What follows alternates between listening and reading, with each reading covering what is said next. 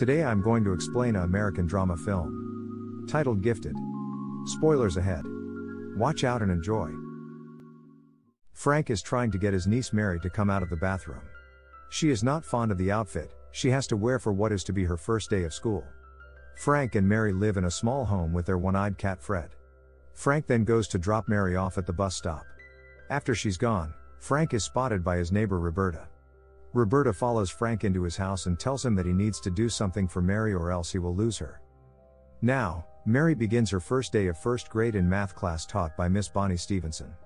Bonnie asks basic math questions, like 1 plus 1, 2 plus 2, but Mary is displeased, since she knows more advanced math than the rest of the class. So teacher then asks some tough multiplication problem to her, but Mary solves every multiplication problem on her own and even states the square root of the number. Later, Principal Davis enters the classroom, and Mary shouts at her to call Frank and get her out of the class. After school, Frank picks Mary up. Bonnie runs outside to catch him and discuss Mary's incredible knowledge of math. Frank says that Mary studied the Trachtenberg method, that allow herself to memorize equations and arithmetic computations. Bonnie later looks up the Trachtenberg method to see what Frank was talking about. She also find up Mary's mom Diane, who was a brilliant mathematician until she committed suicide when Mary was only 6 months old.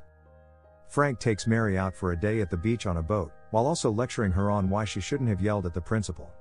Mary does appear to show remorse. Later, Frank goes to a bar, he visits every Friday night, and finds Bonnie coming in to and approach him. She confronts Frank about why he did not tell her truth about Mary. Frank explains how Diane came to him one night and he did not realize what she would do later. He found Diane on the bathroom floor, and has had Mary ever since.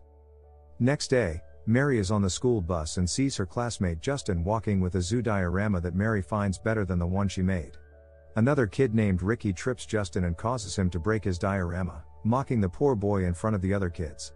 Mary yells at Ricky for what he did, and when he asks what she'll do, Mary grabs a textbook from another kid and whacks Ricky in the face, breaking his nose, leading to blood.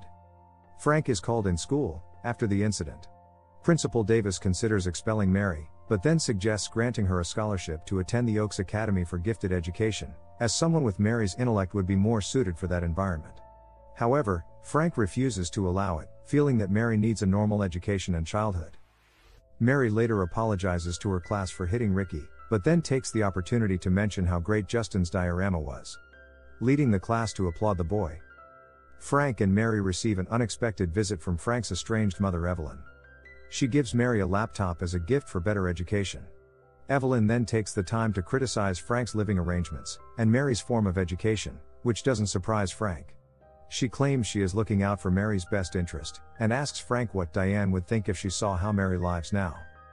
Evelyn wants to take Mary and give her the best education, so she can get to put more potential in her future. But Frank disagree with her. As a result, Frank and Evelyn become involved in a custody battle. Evelyn brings her lawyer Aubrey Highsmith. While Frank is represented by Greg Cullen.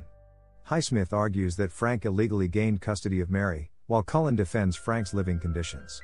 It is settled that Frank and Mary will be checked on while Evelyn will have some time to herself with Mary. Later, Frank leaves Mary with Roberta for the evening while he goes out for drinks with Bonnie. They eventually hook up, although Bonnie is initially hesitant. The two sleep together. Next morning, Mary unexpectedly goes over to her house, while Bonnie is there wrapped in a bed sheet. Mary catches her, and Bonnie leaves extremely embarrassed. Frank scolds Mary for leaving Roberta's home when she wasn't supposed to, so Mary thinks Frank can't have a personal life because of her. Later, Evelyn takes Mary to Boston as per court's permission. She shows Mary pictures of Diane and tells her about Diane's research into the Navier-Stokes problem, which Diane had devoted her life to. Next day, Evelyn takes Mary to meet her colleague, Seymour Shanklin to review an equation he tried to solve. Mary appears confused by Shanklin's work, which he dismisses as her simply not being able to comprehend just yet. As Evelyn takes Mary away, Mary states that she was confused because Shanklin's equation was wrong. Evelyn takes her back to Shanklin. Mary correct the equation and resolves whole problem by herself. The professor then asks why she doesn't tell him earlier. Mary answered that Frank taught her not to correct elders. Meanwhile, back in Tampa, Mary comes back. Mary starts seeing a psychologist named Pat. Pat learns much about Mary's life, including that she has no friends of same age, and that she sees 40 years Roberta as her closest friend. Pat appears concerned when Mary mentions that she and Roberta watch UFC fights every week. During the next court's hearing, Mary's biological father Pollard testifies on behalf of Evelyn. Cullen presses Pollard over his non involvement in Mary's life, not even being able to know her middle name. The judge rules against Pollard for any sort of custody.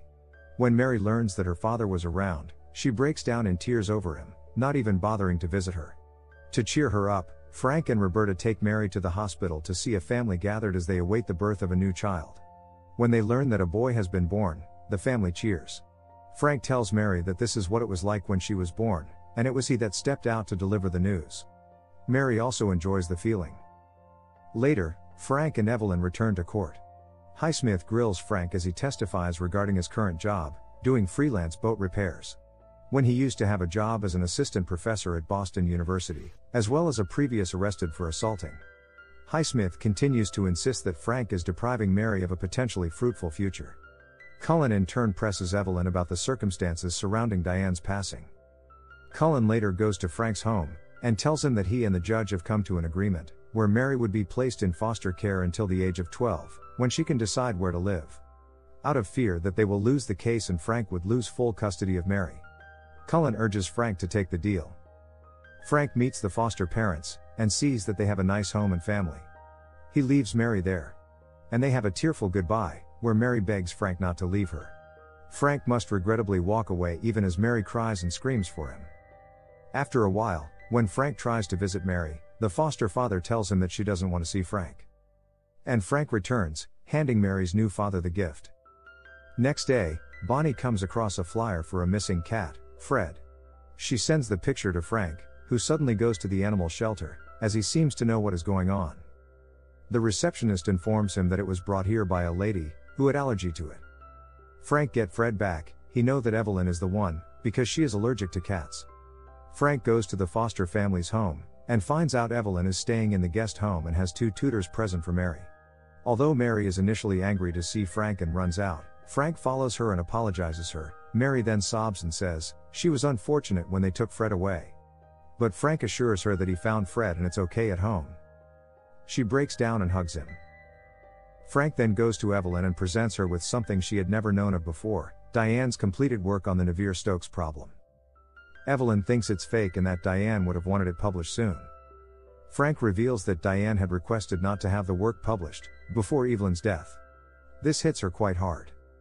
Frank says he will have the work published on the condition that Evelyn give up custody of Mary to Frank, otherwise, the work will remain unpublished until Evelyn dies. Frank then gives Diane's solution to Evelyn, and take Mary with him.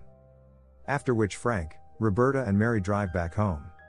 Evelyn breaks down in tears, and then calls Shanklin, the professor. Mary then enroll at MIT to study higher level mathematics as per her interest. Frank picks her up and brings her to the park, to join with Bonnie and the other students of her age. And the movie completes here. Thanks for watching.